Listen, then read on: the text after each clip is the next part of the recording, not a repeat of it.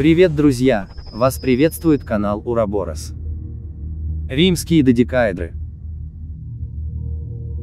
Жители регионов, находившихся когда-то под влиянием Римской империи, обнаруживают загадочные предметы, к настоящему моменту их найдено около 100. Бронзовые и каменные полые объекты, по форме близкие к додекаэдру, в диаметре имеют 4-12 см. На каждой из 12 плоских граней расположены отверстия различных размеров, а из каждого угла торчат маленькие ручки. Древние римляне, славящиеся дотошным учетом всего, что они делали, нигде, однако, не оставили упоминаний о подобных предметах.